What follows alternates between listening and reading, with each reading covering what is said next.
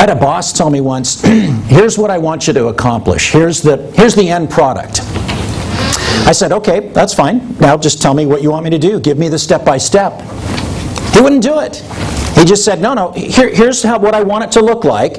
Now, you know, we're way over here at this point, and I'm not going to give you any of the in between. I am just going to let you figure out how to fill in the blanks. And I thought, that's kind of unfair.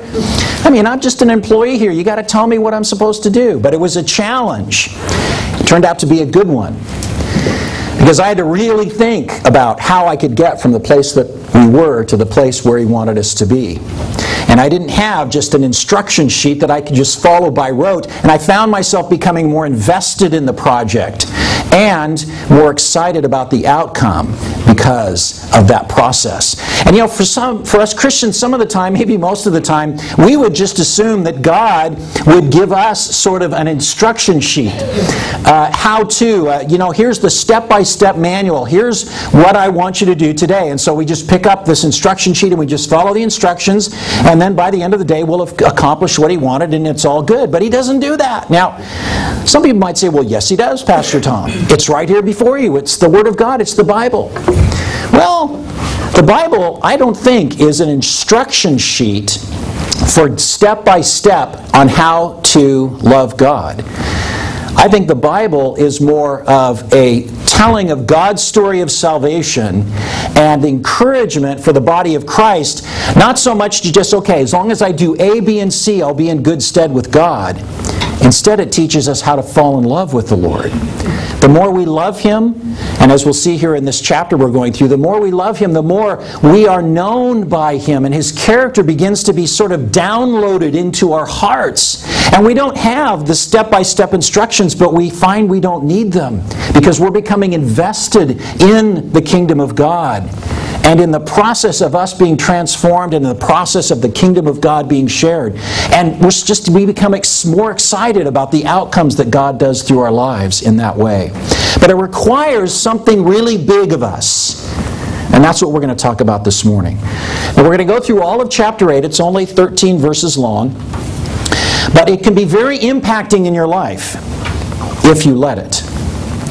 Now, there are two things I want to point out before we start through the, the verses here of chapter 8. And again, as we're going through 1 Corinthians, it is lessons in how not to be a Christian. Because so often uh, we find that the Corinthians were basically doing it wrong. So it's one of those things where see what I'm doing and do the opposite. That's kind of the idea with 1 Corinthians. And Paul is correcting them at, like at every turn. And they had written Paul a letter and they'd asked him a series of questions. Paul wrote back to him and basically spent the the first part of the letter uh, in a scathing rebuke of their immaturity and the arguments that they were having with one another and the, the flesh that was allowed to kind of have first place in their lives. But then he begins answering the questions that they have. And, and today we look at question number two. But the, again, two things that I want to point out before we go through that. Um, and the first is as believers in Jesus Christ, there are two things that are going on in our lives. I actually already mentioned them. The first is that we are being transformed into the character of God. Romans chapter 12, verses 1 and 2, uh, or chapter 12, verse 1, and also 2 Corinthians chapter 3, verse 18. You can take a look at those for references. And then, secondly, that character is being used by God to shine that love story, the gospel of Jesus Christ, out into a dark world. Take a look at 2 Corinthians 5:20. We are ambassadors, we are representatives of the kingdom of God in this very very dark world and everything we do, everything we think and everything we say ought to have those two things in mind. As Paul said back in chapter 6 of 1 Corinthians, you were bought at a price, therefore glorify God in your body. So the second thing really comes out of Paul's letter to the Romans in chapter 8, verse 2, where he said, Because through Christ Jesus, the law of the Spirit of life set me free from the law of sin and death. This is a very, very important concept for us as Christians to understand. We are free. No longer are we under a set of rules and regulations. That only leads to death. It only leads to show us how unable we are to follow God's law and to be like Him. And we have been set free from that through the Spirit of life. In other words, God came and took away the death that was reigning in us and instead gave us His eternal life. So we are no longer under the law. We say, Hallelujah. I guess I can just go do whatever I want, huh? And the point is, the freedom that we have in Christ doesn't mean we just have carte blanche to do anything, given the reality of the first point that I made, and that is we are being transformed into the character of Jesus Christ. Now take a look back, hold your place in chapter 8, and, and look back to chapter 6, because we saw a really key verse there maybe one of the, mo- the, the most uh, important verses in this uh, book. Chapter 6, verse 12, where Paul says, Everything is permissible for me, but not everything is helpful. Or another translation says beneficial. Now, this is something we can actually apply to our lives. That not everything that we could choose to do in this new freedom will help our relationship with Christ being transformed into his character, though it might technically be permissible for you to do because you're no longer under the law. So in chapter 8, we can apply this same principle not just to the choices that we make, but our interactions with other people as well in this culture.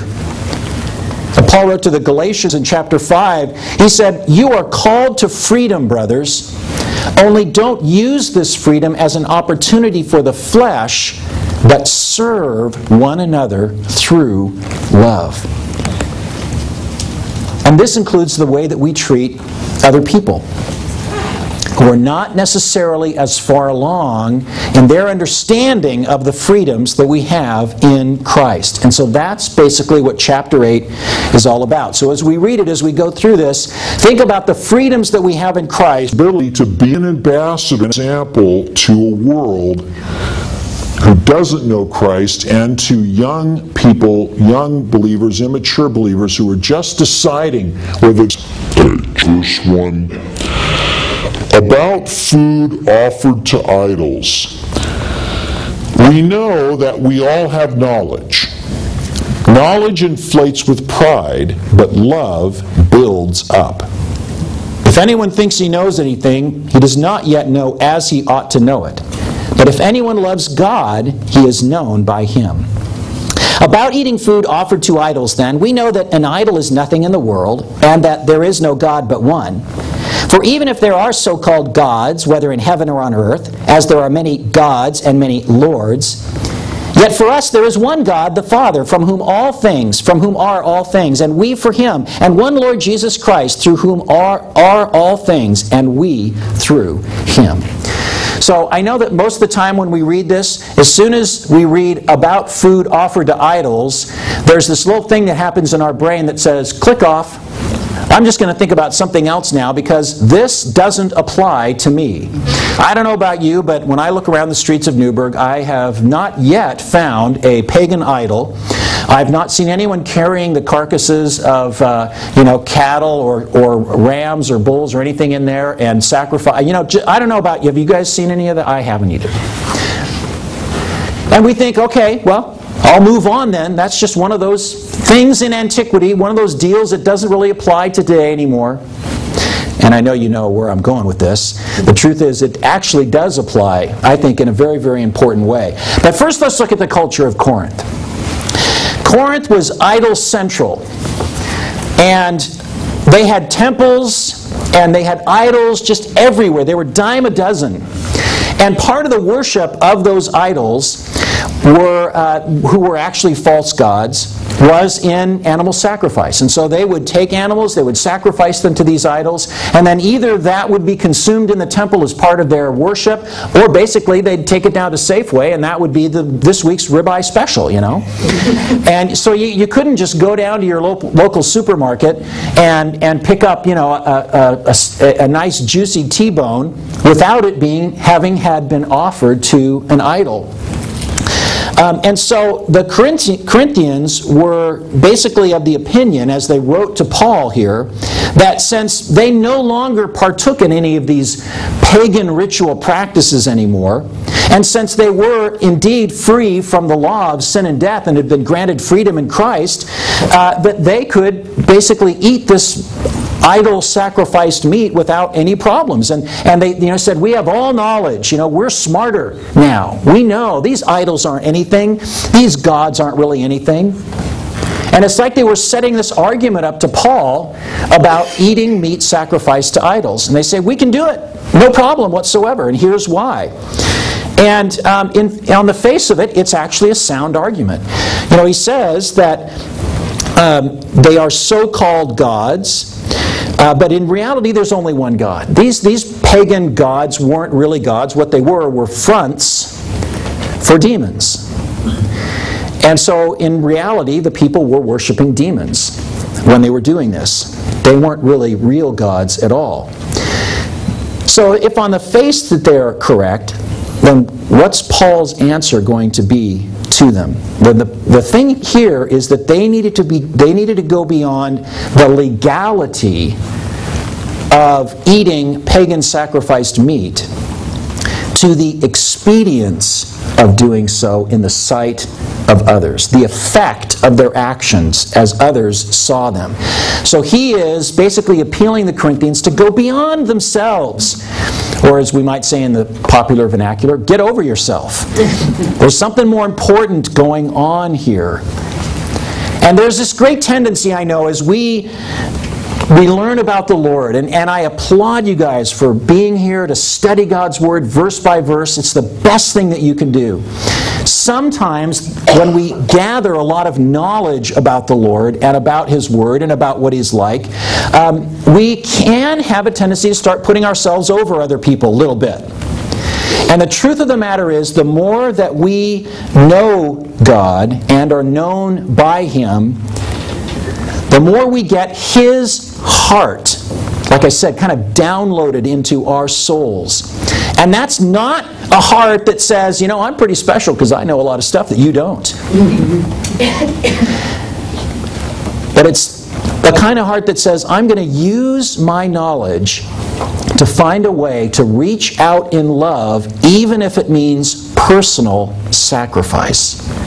So that's really the hallmark of a maturing believer. When, when you love God, God knows you. You begin to share His love giving character. Now, verse 6, I don't know about in your Bible, in the, the Holman Christian Standard Bible, it's kind of set off as if it's a quotation from maybe a hymn, maybe a poem that uh, was going on at the time. Um, and it's true and is among the most incredible things that you can learn that despite all the gods in the world, there's really only one God and there's really only one Lord. But people don't practice that way. We'll talk more about that here in just a second. And you know, we can sum it up this way it's all about Jesus. You know, every page of the Old Testament looks forward to his coming, every page of the New looks back to what he has done and forward to the coming of his kingdom. It's really all about him. The problem is, not everybody knows this yet. Not everybody believes it yet. And especially those who are just beginning to process the claims found in those pages of the Old and New Testament. Or they've recently come to faith in Jesus and they really don't know much of anything else. I don't know about you, but I didn't attend seminary before I became a Christian. I didn't have much of an understanding of the things of God, even though I attended church for most of my life. It wasn't really till afterwards. And it's during that very beginning period of time where the, the Christian is the most vulnerable. Um, and that's when, in fact, you may know this, but, but uh, the cults, uh, Mormons and Jehovah's Witnesses and others, they will, they will especially prey on those who have just decided to give their faith, to uh, put their faith and trust in Jesus Christ, because they're so vulnerable to being pulled off. Oh, you really want to be a Christian? We've got some knowledge that you need to know. And then off they go into one of these um, cults. And so that's what Paul is going to address here. He says, Yeah, you know, it's true, you're right. It's only one God, and these, you know, meat sacrificed to an idol is not sacrificed to anything, really. There's no other God. But as Paul Harvey, the late Paul Harvey might have said, and now the rest of the story. He says in verse 7 Not everyone has this knowledge. In fact, some have been so used to idolatry up until now that when they eat food offered to an idol, their conscience, being weak, is defiled. Food will not make us acceptable to God, and we are not inferior if we don't eat. So, you know, eat, don't eat, I don't care. But be careful that this right of yours in no way becomes a stumbling block to the weak. And if anything, that's the key verse of this chapter. For if somebody sees you, the one who has this knowledge, dining in an idol's temple, won't his weak conscience be encouraged to eat food offered to idols? Then the weak person, the brother for whom Christ died, is ruined by your knowledge. Wow. Okay, so let's run through this a little bit. First of all, Paul says not everybody is as far along in their understanding and in their maturity in Christ as you are. Now, think about it. When you first came to Christ, you couldn't just wade right back into the areas of the world and the fallen culture that you worshiped. It would have really, really hurt you in your ability to really put your faith down in Jesus Christ. And Paul talks about the idea that their conscience is defiled, and it's and it, the idea there in the Greek is to soil. It's like throwing dirt at a clean shirt. Though it's true that as mature Christians we have the freedom to do many things, we need to make sure that what we are free to do doesn't cause someone else to stumble. And that word there is, uh, it's the word stub, as in stubbing your toe. And the idea is that you are, you would trip over it. Their consciences can't yet handle the ideas of the freedom that we have in Christ. So Paul goes on, he says, if you continue to flaunt your freedom, it might actually cause them to think that worshiping the old idol gods must be okay. Well, you know, Brother Joe, I better use a different name. Uh, sorry, Joe. Uh, no, Brother Ed, thank you. I can use one of our elders' names here, and, and he won't mind. You know, well, Brother Ed's over here. You know, he bought that big old uh, that big old New York cut steak over here at the Idol Temple, and he's barbecuing it out there in front. well, I guess if that's the case, then maybe this whole thing about the Lord God being the, being the only God must must not really be true. Maybe those idols are something after all, because if Ed's doing it, it must be okay. It must be right. And so he finds himself going back to the idol worship once again. And he never settles into Christ. He never firmly puts his weight down. He's like in this period where there's, there's like a choice being made. The more I go on in Christ, the more I think that, you know, we, we, like, to, we like to think that there's like this decision point where you, uh, it's like this, you know, you can't ever go back, you know, I'm a Christian now and that's it. And um, I think that as people really consider the gospel, there's more this point at which they're really trying to decide. And they might think, yeah, I think maybe I am a Christian, but I'm not totally sure yet. And that's the period that's really, really dangerous. That's the time at which they can really be influenced by um, something like this. So let's finish off the chapter here in verse 12 and 13. He says, why, or verse 11, when the weak person, the brother for whom Christ died, is ruined by your knowledge. Now, when you sin like this against the brothers and, wound, uh, and wound their weak conscience, you are sinning against Christ. Therefore, if food causes my brother to fall, I will never again eat meat, so that I won't cause my brother to fall. Wow, pretty strong words. Well, Paul's basically saying that the gospel comes before my personal freedom.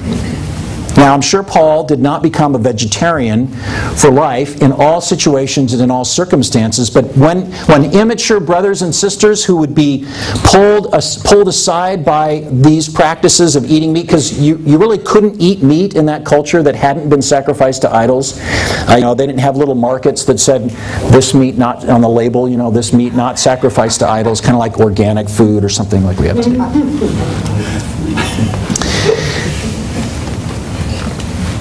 And lest we think this is just a light thing, when Paul talks about sin in this chapter, the only sin he's talking about is the person who flaunts their knowledge so that a, an immature believer or person who is considering Christ stumbles or falls. Wow. When salvation is at stake, things get serious. Being a Christian is not necessarily all that light of a thing. It's wonderful, don't get me wrong. It's the thing but it's not to be taken lightly. Again, I go back to what I said at the beginning. We're here to be transformed into His character and then reflect that character out into a dark world so that the other people will come to know Jesus Christ and experience the eternal life that He has given to us. So, how can we apply this today other than avoiding eating meat at idols, idol temples? Won't be a problem around here.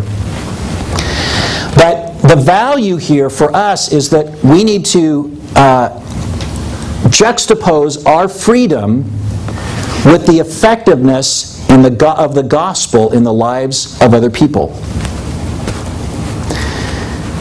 For the people in Corinth, you know, they had obvious pagan gods or idols that they worshipped instead of the one true living God. So for them, anything that would uh, that led them to think that still worshiping an idol was okay would stand in the way of the gospel. Though perhaps permissible, for the Christian who knows that the idols really aren't anything, so there's no big deal. You eat meat, you don't eat meat, whatever, you know? okay, so if we don't have any idol temples around here, do we have any idols in this culture that we worship? Yes. Oh, yes, we do. Money, power, beauty, physical prowess, knowledge, food, possessions, the list goes on and on. Make no mistake, these are gods that people worship. And so, what we need to look at is number one, okay, who's around us? Who are we influencing right now? Who's looking at our lives? And then, two, what are the activities we're engaged in that might jeopardize that person's walk with Jesus Christ? It's not about the law and right and wrong, well, it is about right and wrong. You know, again, the first thing is we need to do things that are within the character of Christ, but there's so much that's permissible. Everything is permissible, although not everything is beneficial. But if I'm sharing the gospel with a pre Christian or a young believer who, let's say the person has worshiped the god mammon, money, maybe in the form of gambling. They've had a problem with gambling and they just they love money so much that they just haven't been able to break free of that. And then they become a Christian or they're really considering the gospel of Jesus Christ going, "Man, you mean this can set me free from these things that have so uh, plagued me in the past?" So we say, Yeah, that's great. I'm so glad that you're going to come forward and accept Christ. Let's go celebrate. Let's go on out to the casino and have dinner and then, you know, have a few rounds of blackjack. See where I'm going? Now, I could do that as a Christian, not that I would, but I could. But am I putting the needs of, putting my needs first, my freedoms first, or the needs of the gospel in my friend's life first as more important than my freedom. I do not want this per- person to think that worshiping the God of money is okay because it isn't. There's only one God, and anything that comes between you and the one true God is an idol. Now, this person isn't going to be mature enough to realize that I am free in Christ. As long as I am reflecting the character of Christ in my life, I'm good. I'm good to go. All things are permissible, but not all things are beneficial. We need to be careful with those around us who do not yet understand the freedoms that we have in Christ. Maybe it's, uh, you know, in another person's life, maybe it's alcohol. Uh, Maybe it's dancing. Maybe it's Maybe it's exercise. Maybe, you know, Paul might have said, I will never work out again in front of my brother if it means my brother will stumble over the God of physical prowess. Now, a second and I think really important point for us to consider here is that we're not talking about just differences in style between maturing believers in Jesus Christ. Nor do I think that Paul is giving us universal prohibitions about things like eating meat. Paul is not saying, Thou shalt be a vegetarian from this. Is he? I don't think that he is. But if you're in the presence of somebody who's deciding to put their faith in Christ, and you flaunt a freedom that just won't understand at this point, then that's on you. Yeesh. But between Christians who are maturing and have an understanding of God's Word, then I think that um, it's more just up to interpretation and um, how you want to lead your, your walk with Christ. And sometimes I think Christians get into these intramural battles over style. And a couple of the things that I mentioned have been the subject of those debates in the past. Things like dancing. Even to this day, uh, you, if, uh, and I think I've actually used this analogy before, but uh, Margaret and I have taken uh, some ballroom. We really enjoy dancing together. But if we were to come into a fellowship of believers who really believed that dancing was, you know, against uh, God's law, and we started, we threw on a waltz and we started waltzing around and hopefully didn't trip or anything, uh, that would really offend them. but it ought not to if we are maturing believers, that if I'm going to a place where uh, they worship the God of dance, could there be such a thing? I don't know. And, I, and we start doing that, and they go, oh, well, I guess it's okay. Then, then maybe this Jesus thing isn't all it's cracked up to be. That would be wrong. It's not an instruction manual, is it? It's like, well, well, if I can do it here, how come I can't do it here? I just need to know, God, tell me. He says, no, no, here's the outcome. Here's the end of the project. I want your life to so shine before men that they will see you and give glory to me. That they'll see you and go, man, that Jesus is something else. I want to love him. Now, however you do that, it's up to you. But that's the goal. And we go, God, that's not fair. What does it do? It forces us to dig into His Word and learn of His character. It forces us to go, I better really come to an understanding of what God is doing in my heart. It, it forces us to think when we're out amongst other people, how am I coming across? Knowing that other person and what problems that they might be facing. So we're talking about salvation, not style. This is important stuff. We're talking about freedoms within the character of Christ. We're talking about putting someone else's salvation above our freedoms in Christ. And we're talking about love being the primary motivator in our lives. As we grow more mature, we find it, it is less about us and more about God, what God can do through us for other people. It's all about this character of being other centered. That's the Lord. It's like what Paul wrote when he said, Consider the needs of others more, consider others as more significant than yourself. It doesn't mean that I'm really bad and you're really good. That's not what he's talking about at all. But what he's talking about is that this is a life and death, death situation. People's eternities are at stake. God would go to any length in order to rescue people from an eternity of separation to Him. It's that bad. And He would go to any length, He will give up anything in order to reach those people and pull them into His eternal life and love, which is a wonderful, wonderful thing. So we ought to be like that as well. So pray for discernment to know am I in a situation where something I'm doing here is going to offend somebody who is uh, an immature believer or just coming to Christ so badly that they're going to decide to walk away from the Lord? And if so, I just won't do it. They are worth more than my freedom. Lord, these are difficult things to grasp. And, and I, I pray, Lord, that as we go our way today, that you would begin to apply to our own lives as to understand this message to the Corinthians uh, as it is applied to us today. Lord, I know that what you want us to do is to reflect your character. And so help us to know how to most effectively do that. You gave up your life, Lord. You gave up your freedom. You gave up everything so that we could have eternal life with you. Help us, Lord, to know when, where, and what we need to give up in order to bring more people to know you. We thank you for this, Lord, in Jesus' name. Amen.